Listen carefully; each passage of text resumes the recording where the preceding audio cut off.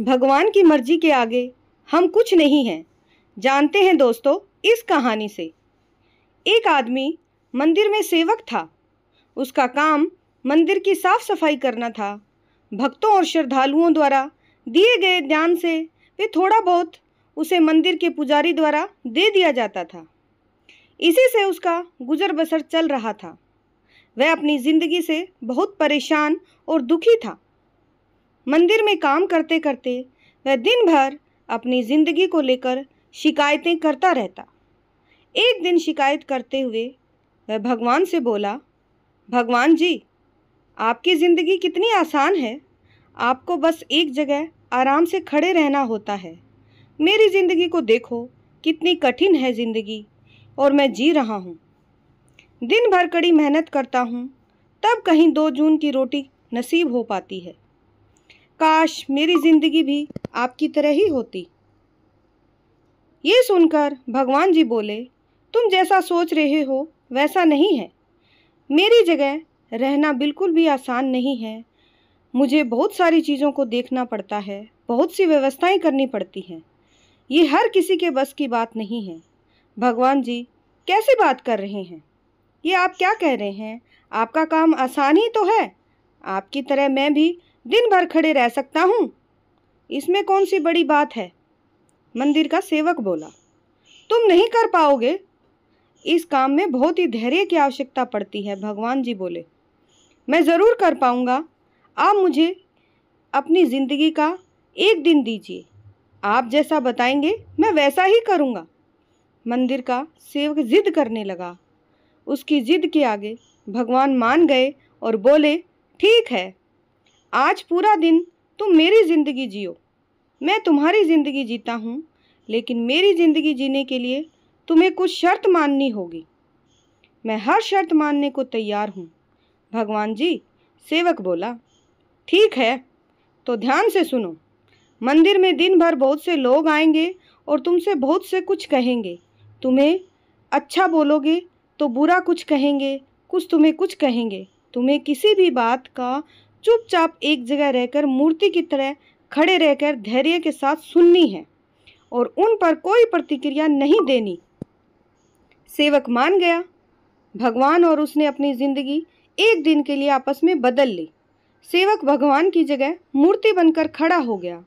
भगवान मंदिर की साफ़ सफ़ाई का काम निपटाकर वहाँ से चले गए। कुछ समय बीतने के बाद मंदिर में एक धनी व्यापारी आया। भगवान से प्रार्थना करते हुए बोला भगवान जी, मैं एक फैक्ट्री डाल रहा हूँ।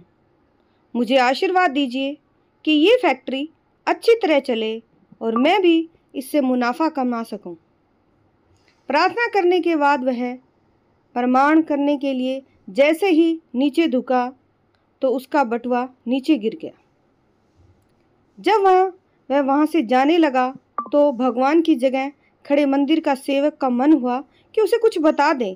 कि उसका बटुआ नीचे गिर गया है। लेकिन शर्त के अनुसार उसे चुप रहना था। इसलिए वह कुछ नहीं बोला और खामोश खड़ा रहा।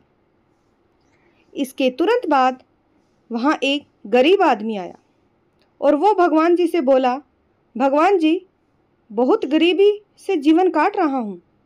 परिवार का पेट पालना है, माँ की दवाई की व्यवस्था करनी है। समझ नहीं पा रहा कि इतना सब कैसे करूँ? आज देखो मेरे पास दो रुपये हैं। इसमें से मैं क्या कर पाऊँगा? आप ही कुछ चमत्कार करो और मेरे लिए धन की व्यवस्था करो। वह गरीब आदमी गिड़गिड़ाने लगा। प्रार्थना करने के बाद जैसे ही वह जाने को हुआ, उसे नीचे गिरा हुआ व्यापारी का वो बटुआ दिखाई दिया। उसने बटुआ उठा लिया और भगवान को धन्यवाद देते हुए बोला, भगवान जी आप धन्य हैं। आपने मेरी प्रार्थना इतनी जल्दी सुन ली। इन पैसों से मेरा परिवार कुछ दिन भोजन कर सकता है। माँ की दवाई भी की व्यवस्था हो जाएगी। भगवान को धन्यवाद देकर वह वहाँ से जाने लगा। और वो बहुत ही खुश हो गया, राज़ी हो गया कि भगवान ने उसकी सुन ली। तब भगवान बने मंदिर के सेवक का मन हुआ कि उसे बता दे कि ये बटुआ तो व्यापारी का है। उसे मैंने मना, उसे मैंने नहीं दिया। वह जो कर रहा है, वह तो चोरी है। वो सब सेवक बताना चाह रहा था, लेकिन वह चुप रहने के लिए विवश था। इसलिए मन मारकर चुपचाप खड़ा रहा। मंदिर में आने वाला तीसरा व्यक्ति एक नाविक था। वह चौदह दिन के लिए समुद्री यात्रा पर जा रहा था। भगवान से उसने प्रार्थना की कि हे भगवान, यात्रा सुरक्षित रहे और वह सकुशल वापस आ सके। वह प्रार्थना करके ही जा रहा था कि धनी व्यापारी वहाँ आ गया। वह अपने साथ पुलिस भी लेकर आया था। नाविक को देखकर वह पुलिस से बोला, मेरे बाद ये मंदिर में आया है। ज़रूर उसी ने मेरा बटुआ चुराया होगा। आप इसे गिरफ़्तार कर लीजिए। पुलिस नाविक को पकड़कर ले जाने लगी। भगवान बने आदमी को अपने सामने होता हुआ ये अन्याय सहन नहीं हुआ। वो सेवक ये इसे सहन नहीं कर पाया। शर्त के अनुसार उसे चुप रहना था, लेकिन उसे लगा कि बहुत गलत हो चुका है।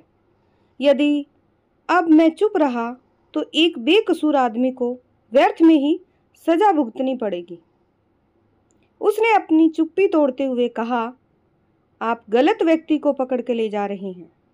ये बटुआ इस नाविक ने नहीं, बल्कि इसके पहले आया एक गरीब व्यक्ति ने चुराया है। मैं भगवान हूँ और मैंने सब देखा है। पुलिस भगवान की बात कैसे मानती? उनकी बात मानकर उन्हें नाविक को छोड़ दिया, क्योंकि फिर पुलिस ने माना कि ये तो भगवान खुद बोल रहे हैं। जिसने बटवा लिया था, शाम को जब वह भगवान वापस आए तो मंदिर के सेवक ने पूरे दिन का वरदांत सुनाया। उन्हें गर्व के साथ बताया कि आज मैंने एक व्यक्ति के साथ अन्याय होने से रोक दिया। वो अपनी बड़ाई खुद किए जा रहा था, सेवक। देखिए, आपकी ज़िंदगी जीकर आज मैंने कितना अच्छा और महान काम किया। वो बहुत सेवक खुश था उसकी ये सारी बातें सुनकर भगवान बोले, ये तुमने क्या किया? मैंने तुमसे कहा था कि चुपचाप मूर्ति बनकर खड़े रहना, लेकिन वैसा न करके तुमने मेरी पूरी योजना पर पानी फेर दिया। उस धनी व्यक्ति ने बुरे कर्म करने पर इतना धन कमाया है। यदि उसमें से कुछ पैसे गरीब आदमी को मिल जाते हैं तो उसका भला हो जाता है। और व्यापारी के कुछ पाप पाप भी उसके कम हो जाते हैं। जिस नाविक को तुमने समुद्री यात्रा पर भेज दिया था, वह अब जीवित वापस नहीं आ पाएगा। समुद्र में बहुत बड़ा तूफ़ान आने वाला है। यदि वह कुछ दिन जेल में रहता तो कम से कम बच जाता। सेवक को यह सुनकर एहसास हुआ कि वह तो बस वही देख पाया जो उस समय उसके सामने, आँखों के सामने घटित हुआ। उसके पीछे की सच्चाई को वो नहीं जान पाया, क्योंकि वो एक सेवक था, न कि एक भगवान था। जबकि भगवान जीवन के हर पहलू पर अपने विचार, अपनी योजनाएँ बनाते हैं, क्योंकि भगवान की मर्ज़ी के बिना एक पत्ता भी नहीं हिलता। और लोगों के जीवन को भगवान उन्हीं के अनुसार चलाते हैं जैसा होना चाहिए। तो दोस्तों, इस कहानी से हमने ये सीखा कि हम सब भी भगवान की योजनाओं को नहीं समझ पाते। जब हमारे साथ कुछ गलत हो रहा होता है या हमारे हिसाब से कुछ नहीं हो रहा होता है तो हम अपना धैर्य खोकर भगवान को दोष देने लगते हैं। हम ये नहीं समझ पाते कि इन सब के पीछे भगवान की कोई न कोई योजना अवश्य ज़रूर छुपी हुई होती है। ऐसे समय में हमें भगवान पर विश्वास बनाकर धैर्य धारण करने की आवश्यकता होती है, क्योंकि भगवान ने जो हमारे लिए सोचा होता है, वो सर्वप्रिय होता है। इसलिए चिंता न करें, यदि आपकी मर्ज़ी से कुछ नहीं हो रहा है तो इसका अर्थ है कि भगवान की मर्ज़ी से जो कुछ हो रहा है, वो भगवान की इच्छा है। भले ही देर से ही सही, लेकिन भगवान की मर्ज़ी से सब हमारे साथ अच्छा ही हो रहा है। क्योंकि भगवान की मर्ज़ी के बगैर पत्ता नहीं हिलता, भगवान ही हैं जो अपनी इच्छा से मनुष्य को चलाते हैं। मानते हैं कि हम अपने कर्म से अपने जीवन को अच्छा बनाते हैं, लेकिन ये सब हमारे भगवान मालिक की देन है। आशा करती हूँ ये छोटी सी मॉरल स्टोरी आपको पसंद आई होगी। कहानी वीडियो अच्छे लगे, हमसे जुड़े, चैनल को सब्सक्राइब करें। पूरी कहानी सुनने के लिए आपका बहुत बहुत आभार। तब तक के लिए नमस्कार।